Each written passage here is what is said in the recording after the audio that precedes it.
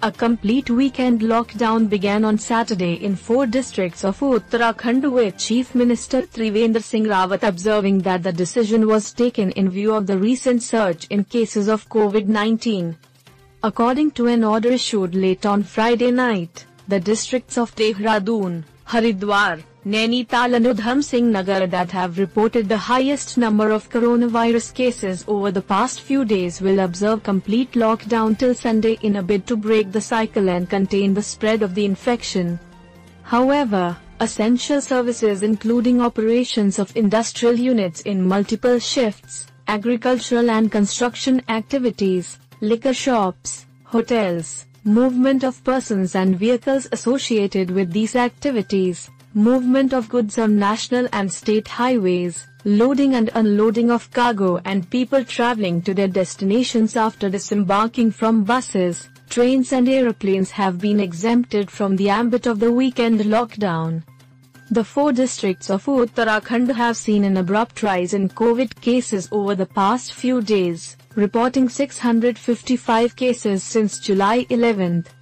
At a review meeting on the coronavirus situation in the state held through video conference, the chief minister said the state government had taken the decision as the shutdowns imposed earlier in Dehradun on Saturdays and Sundays for sanitizing the city had led to good results.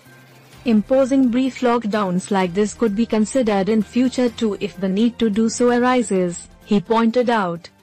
Health infrastructure in the state has been strengthened substantially since the outbreak of the pandemic by ramping up facilities like ICUs, ventilators, oxygen support, testing machines and labs and availability of a skilled human resource to deal with the situation, Rawat said but added that timely response was the most important thing in the fight against coronavirus.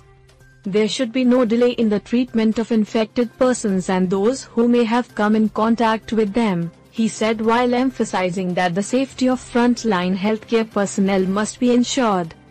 Rawat also asked officials not to allow crowding on religious occasions.